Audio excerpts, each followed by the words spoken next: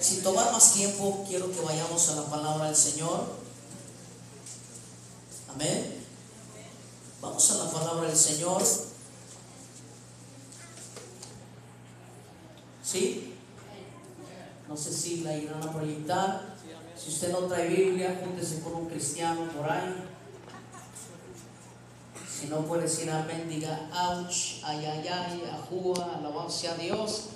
Pero diga algo, amén. Sé que trae hambre de la palabra del Señor, ¿verdad?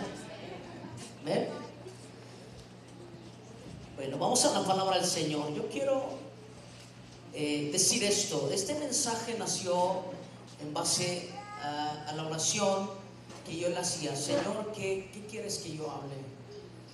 Y, y esta fue la palabra que el Señor me dio. Primera de Samuel capítulo 7, versículo 1 en adelante. Me indica con un amén cuando lo tenga. Amén. Hay gozo en la casa de los justos. Usted que está a su lado, dígale ánimo, hermano.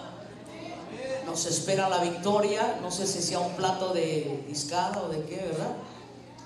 Pero primero es el alimento espiritual.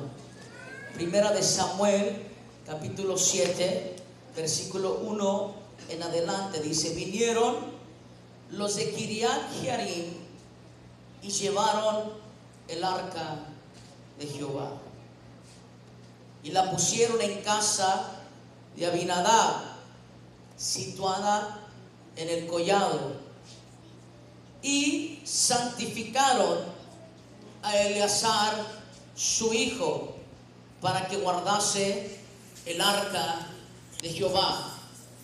Versículo 2. Desde el día que llegó el arca a Kiriat Jearim, pasaron muchos días, para ser exactos, 20 años. Y toda la casa de Israel lamentaba en pos de Jehová. Padre, te damos gracias.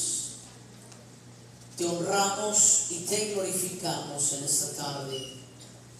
Señor, reconocemos tu presencia en este lugar. No te pedimos que vengas porque esta es tu casa, tú habitas en este lugar, sino te pedimos que te manifiestes con más intensidad, tu gloria vaya en aumento mientras tu palabra es predicada. En esta hora, Señor, dispone, rompe nuestras agendas si tú gustas, pero tú ministra el corazón de este pueblo. Te damos la gloria, te damos la honra, te damos la alabanza. No a nosotros, sino a tu nombre sea la gloria, Señor, por los siglos de los siglos. Alguien diga amén. Amén. Puede ocupar su lugar. Amén. El tema en esta tarde es cómo traer y mantener la presencia de Dios. Cómo traer y mantener la presencia de Dios. ¿Por qué? Nuestro hermano comentó algo y es muy cierto. Muy hermoso, muy bonito, pero sin la presencia de Dios. ¿Y de qué sirve un lugar si no está la presencia de Dios? ¿Qué es lo que hace la diferencia? La presencia de Dios.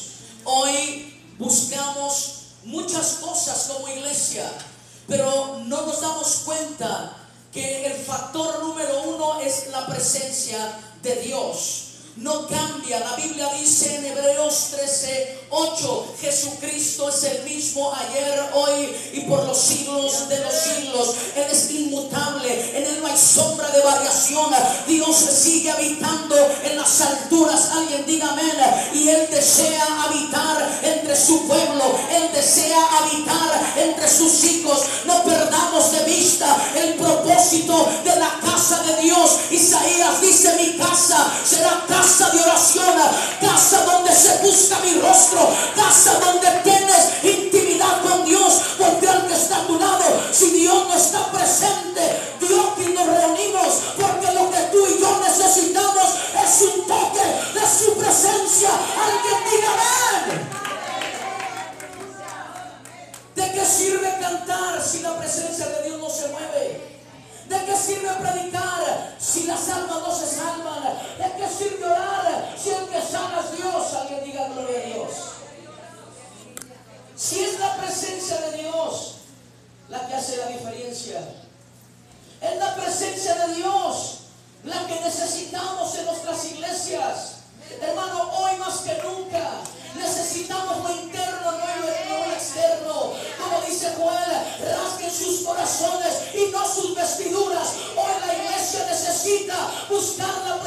de Dios.